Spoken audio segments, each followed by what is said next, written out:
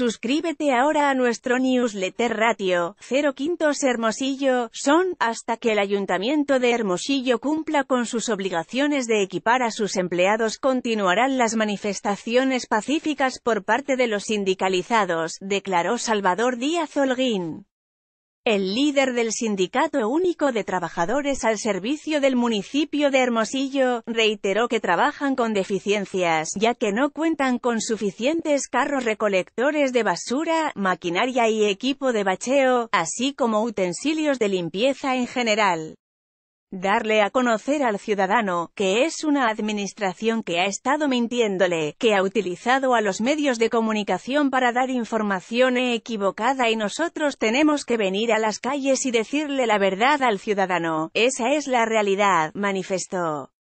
El equipo ideal para tener un servicio digno de recolección de basura, sostuvo, se requieren de 80 carros, y hasta el momento solo funcionan 39 de una flotilla de 70 unidades.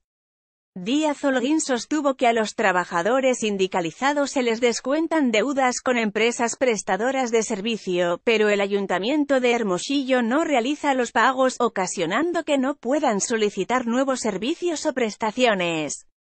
EXP AGDO ABR 2018 Calificar la nota. 0 rating. Yo Expreso Repórtanos por WhatsApp 662 126 2721 X. Resultados de la encuesta